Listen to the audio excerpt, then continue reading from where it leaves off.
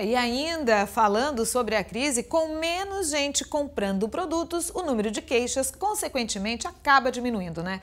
Em Aracatuba, além disso, outro fator fez com que o PROCON registrasse queda de 25% nos atendimentos presenciais, a ferramenta de reclamação online.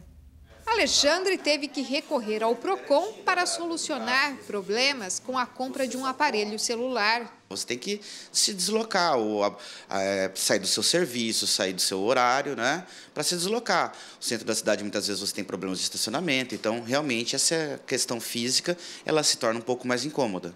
Mas ferramentas online têm ajudado consumidores como o Alexandre na hora de registrar reclamações. Tanto que aqui no PROCON de Araçatuba, o número de atendimentos presenciais diminuiu em torno de 25% nos três primeiros meses deste ano, em comparação com o mesmo período de 2016. Nós acreditamos que, que, que essa diminuição ela, ela, ocorreu em virtude das plataformas digitais, né, que facilitam essa, essa conciliação entre fornecedor e consumidor. O site consumidor.gov.br é bem simples de usar. Ao acessar o endereço, basta colocar o nome da empresa referente ao problema e preencher os campos indicados com as informações sobre a queixa.